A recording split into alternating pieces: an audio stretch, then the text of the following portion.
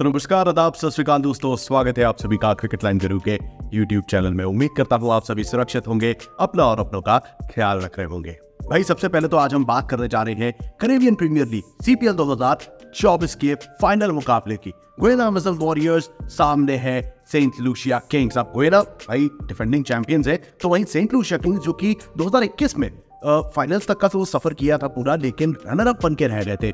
Saint Kitts and Nevis Patriots ने वो मुकाबला जीता था और चैंपियंस बने थे। लेकिन इस बार भाई ग्वेना के सामने है सेंट लूशिया किंग्स और माहौल बदलने के पूरे चांसेस हैं सेंट लूशिया किंग्स के।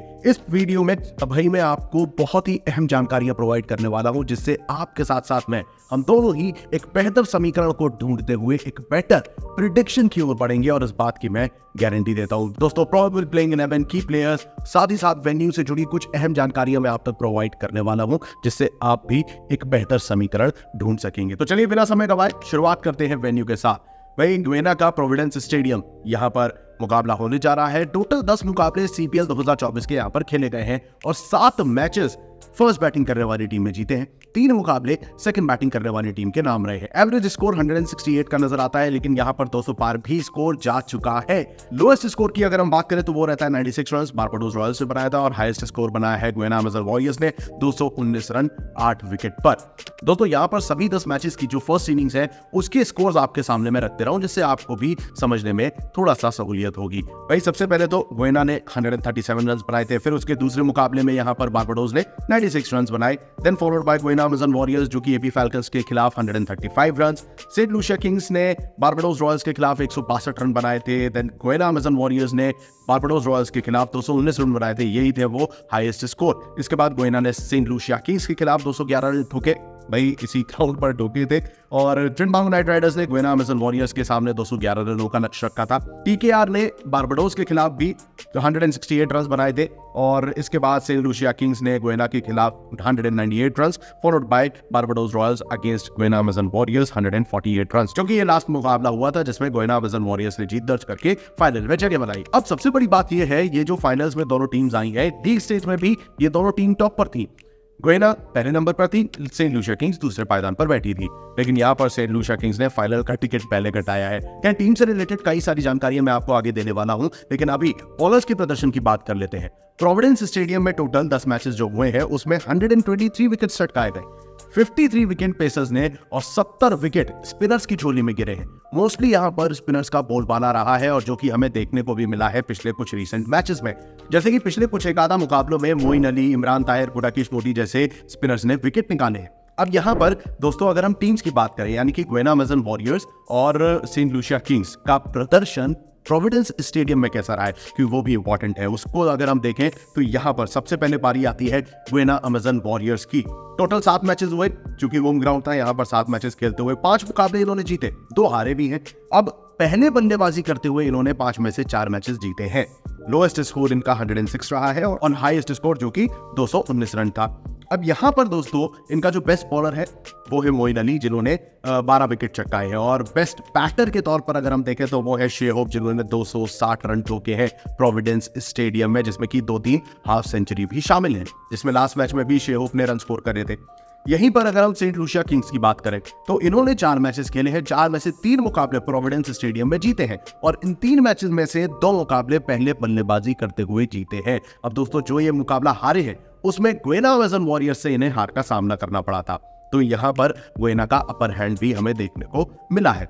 अब इनका जो लोएस्ट स्कोर है, वो है 162 और हाईएस्ट स्कोर इन्होंने बनाया है 198 रन बेस्ट बॉलर की अगर हम बात करें तो वो रहते हैं अजारी जुजब जिन्होंने नौ विकेट चटकाए हैं और बेस्ट बल्लेबाज के तौर पर फाफ डुप्लेसी हैं, जिन्होंने 179 रन बनाए हैं इन फोर मैचेस ये था सेंट लूसिया किंग्स का परफॉर्मेंस प्रोविडेंस स्टेडियम में। यहाँ पर अगर हम हेड टू हेड कंपैरिजन की बात करें तो टोटल 25 मुकाबले दोनों टीम्स के बीच हुए हैं। एक मैच का कोई रिज़ल्ट नहीं निकला। यहाँ पर नौ मुकाबले वही सेंट लूसिया किंग्स के हाथ लगे हैं तो वहीं 15 मैचेस ग्वेना अमेजन वॉरियर्स ने जीते हैं। और लास्ट पाँच मैचेस की अगर हम बात करें तो तीन मुकाबले ग्वेना अमेजन वॉरियर्स ने और दो मैचेस सेंट लूसिया किंग्स के नाम रहे अब अब दोस्तों, यहाँ पर सबसे इंपॉर्टेंट बात यह आ जाती है कि सीपीएल 2024 में तीन दफे दोनों टीम सामने सामने आई। दो मुकाबले ग्वेना ने और एक मैच सेंट लूसिया किंग्स ने जीता है। यह है पूरा लेका जोका दोनों टीम्स के बीच का। अब बढ़ते हैं हमारे अपकमिंग कॉन्टेस्ट की ओर, यानी कि फाइनल मुकाबले की प्रोबेबल प्लेइंग इलेवन क्या हो सकती है और की प्लेयर्स कौन से हैं जिन पर रखनी चाहिए हम सभी को नज़रें और हमारी फैंटेसी टीम का भी हिस्सा बन सकते हैं। दोस्तों, ध्यान ज़रूर दीजिएगा क्योंकि यहाँ पे सबसे इंपॉर्टेंट चीज़ें आपको मैं बताने वाला हूँ। सबसे पहले तो अगर हम सेंट लूजिया किंग्स की बात करें, चूँकि वो पहले फाइनल्स में पहुँचे हैं तो it is Saint Lucia Kings versus Guyana Warriors Saint Lucia Kings की तरफ़ से फाफ डुप्लेसी और जॉनसन चार्ल्स जैसे दो धाकड़ बल्लेबाज, जो कि टीम के लीडिंग रन स्कोरर्स भी हैं जॉनसन चार्ल्स ने 11 मैचेस में 445 रन बनाए हैं और फाफ डुप्लेसी ने 11 मैचेस में 384 रन ठोके हैं। ये दोनों ही आपकी फैंटेसी टीम के प्रबल दावेदार हैं। वहीं इसके बाद रॉस्टन चेज भी रन स्कोर कर रहे हैं, लेकिन टिम साइफर्ट तीसरे लीडिंग रन स्कोरर हैं, जिन्होंने 11 मैचेस में 254 रन बनाए हैं। स्ट्राइक रेट है 164 का। तीनों ही बल्लेबाजों ने कहीं ना कहीं अच्छा प्रदर्शन किया है। टॉप के दो जो बल्लेबाज है, वो आपकी फैंटेसी टीम में होने ही चाहिए। अलॉन्ग विथ रॉस्टन चेस जो कि अच्छी फॉर्म में नज़र आ रहे हैं। अजारी जोजफ नूर अहमद जैसे खिलाड़ी भी टीम में बेहतर प्रदर्शन कर सकते हैं, जिसमें कि नूर अहमद की अगर मैं बात कर रहा हूँ तो ना सिर्फ़ वो टीम के, बल्कि सीपीएल 2024 के सबसे धाकड़ गेंदबाज रहे इन्होंने 19 विकेट चटकाए हैं 11 मैचेस में 6.3 की इकोनॉमी के साथ। और जबकि ये जो प्रोविडेंस स्टेडियम है, ये स्पिनर्स को फ़ायदा पहुँचा रहा है तो नूर अहमद जैसा गेंदबाज, भाई ग्वेना अमेजन वॉरियर्स के लिए, परेशानी का कारण बन सकता है। अब यहीं पर डेविड वीजी भी आते हैं, जो कि 10 मैचेस में 12 विकेट चटका चुके हैं। वीजी के साथ साथ दोस्तों अजारी जोसेफ का भी नाम लेना बेहद ज़रूरी है, जो कि 15 विकेट चटका चुके हैं 11 मैचेस में 8.2 की इकोनॉमी के साथ। तो ये जो मैंने छह खिलाड़ियों के नाम आपके समक्ष रखे हैं, इन्हें आप अपनी फैंटेसी टीम में ज़रूर शामिल करिएगा।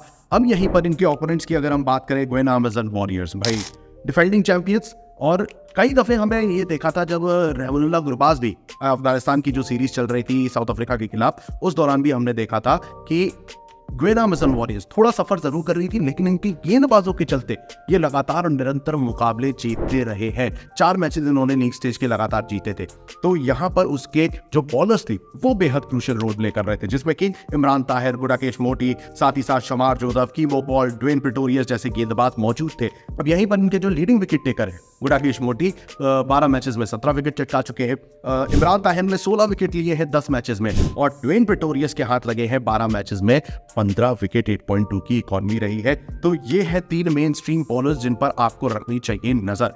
अब यहीं पर जो मेन बल्लेबाज है, तीन मेन बैटर है गोयना अमेजन वॉरियर्स के। सबसे पहले तो भाई शिमरन हिटमायर आ जाते हैं, जिन्होंने 391 रन बनाए हैं। टीम को मजबूती दी है मिडिल ऑर्डर में, क्योंकि जब रहमुल्ला गुरबाज नहीं थे टॉप में तो टीम लड़खड़ा रही थी। शिमरन हिटमायर ने उसे संभाला। था। वहीं आ जाए हैं। शेहोप जिन्होंने 369 रन बनाए हैं ओवरऑल बारह मैचेस में 139 की स्ट्राइक रेट के साथ। रहमुल्ला गुरबाज की अगर हम बात करें तो एट मैचेस में इन्होंने 269 रन बनाए 173 का स्ट्राइक रेट रहा है। अब इन बल्लेबाजों के अलावा रोमारियो शेफर्ड भी टीम के लिए बेहतर प्रदर्शन करते आए हैं अलॉन्ग विद मोइन अली। तो दोस्तों गोयना अमेजन वॉरियर्स के लिए मैंने मोइन अली का नाम आपको पहले ही दिया था, जो कि प्रोविडेंस स्टेडियम में सबसे ज़्यादा विकेट चटका चुके हैं। तो मोइन अली साथ ही साथ आपके Imran Tahir, Gudakesh Motie Dwaine Pretorius Rahmanullah Gurbaz Shai Hope Shimron Hetmyer ये कुछ ऐसे छह सात खिलाड़ी है जिन पर आपको रखनी चाहिए नज़र और अपनी फैंटेसी टीम आप इसके तहत बना सकते हैं। अब यहाँ पर दोस्तों आता है मेन मुद्दा कि आखिर इस अपकमिंग कॉन्टेस्ट में